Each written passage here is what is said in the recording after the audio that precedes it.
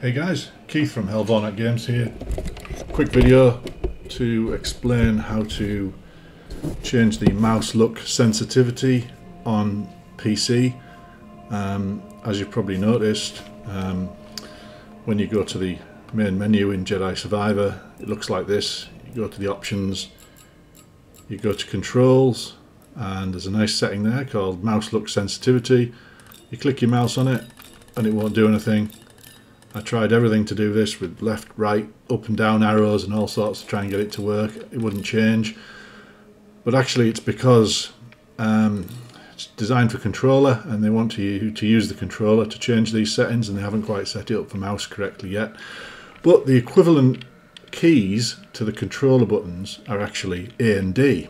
So using A instead of the mouse, so move the mouse out the way. So you just use the keys A and D. And that way, any of these sliders that you want to set, you can set using that way. And then you still need to hit enter to save. You'll notice actually if I, if I try and change one there and then move out of it, it, it actually, oh, that seems to save it actually.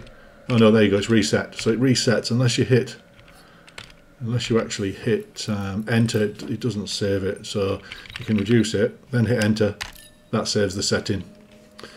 Hit enter to change it, move it to where you want it, hit enter. So it's A and D. A to decrease. Sorry, try again.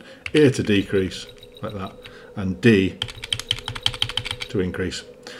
That's it from me from Helvornak Games. Hope this video is helpful to change the mouse look sensitivity. I'll speak to you again soon.